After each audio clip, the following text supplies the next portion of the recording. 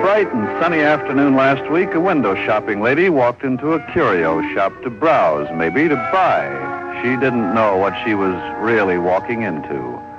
In the gloom and semi-darkness of the shop, she could see a pile of shrunken heads, oddly fashioned skulls, ghoulish knickknacks made of human bones. If Dracula himself were to step out of the shadows, it wouldn't surprise her a bit. Or would it? We'll find out because Bela Lugosi, the Dracula of the movies, was posing as the manager. The king of the zombies, with a polite, Can I help you, madam, is already talking to the lady. You see, that's an original skull with the original hair on it. Do you like it?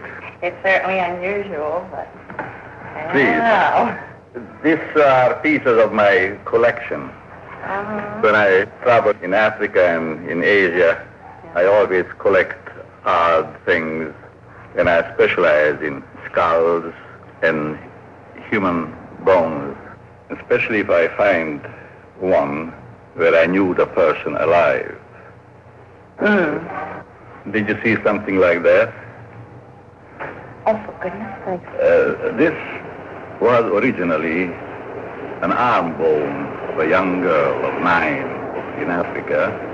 And uh, when she was sacrificed by their gods, then her lover saved that little bone and made a pipe out of it.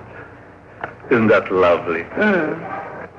I'm collecting all these skulls and make different things out of it because that's my hobby. But my supply ran out now, It is a peculiarly sadistic hobby, if I may say so. Isn't it? That's the fascination of it.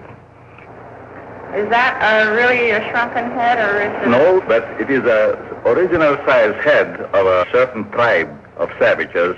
They call it the pygmies. Mm.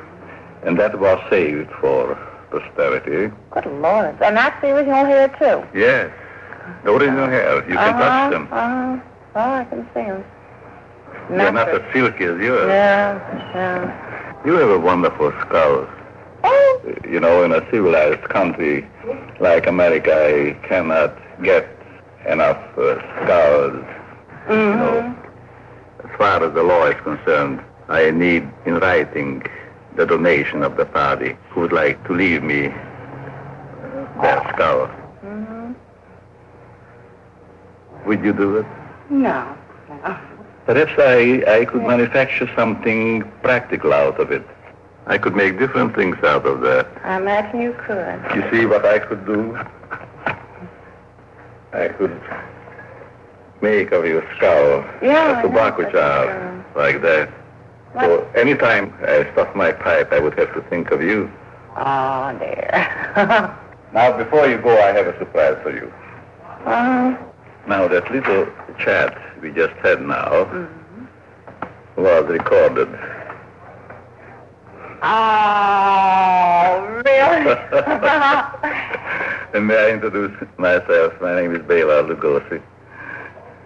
Really? The king of the zombies. I don't So- believe it because You don't? No. Now I'll take a bite of your neck. Now, here.